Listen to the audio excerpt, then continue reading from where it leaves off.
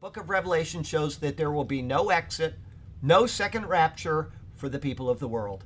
They will either take the mark of the beast and perish, or they will not take it and they will perish.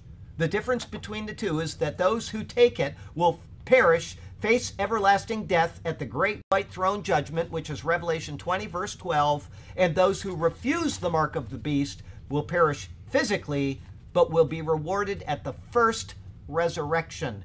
Revelation 20, verse 5. Before the millennial reign of Christ, they will be resurrected. That is their reward for not taking the mark of the beast.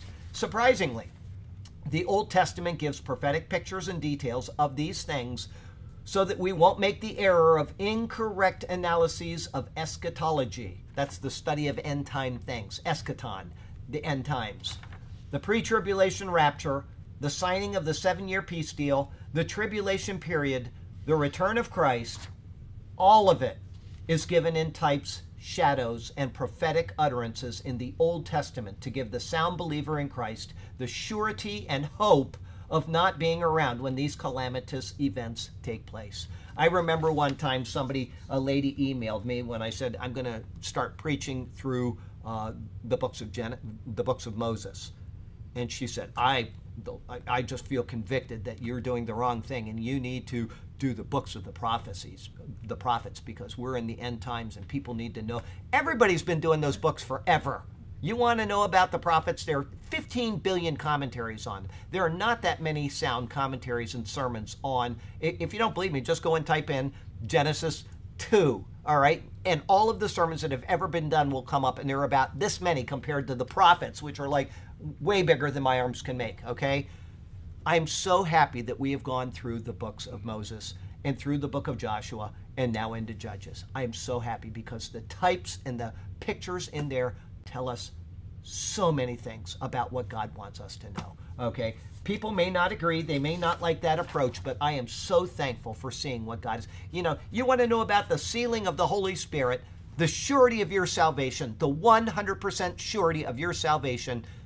Go watch Genesis 38, where Judah sleeps with his daughter Tamar. It's right there in that sermon.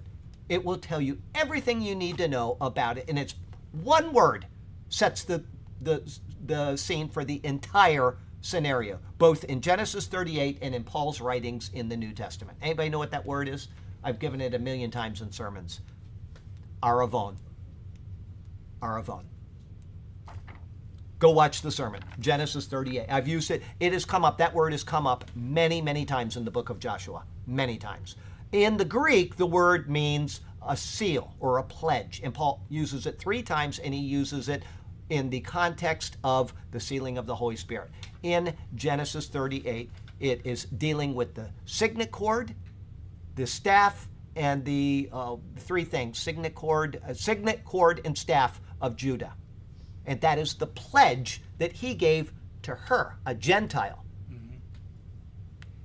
It's all right there. It's a what's that? Daughter yeah well yeah daughter-in-law but his daughter yeah daughter daughter-in-law. I call faith my daughter all the time so she's my daughter-in-law. Sometimes i call her, call her my daughter-in-law when she's on my bad side legally. but, yeah no. Anyway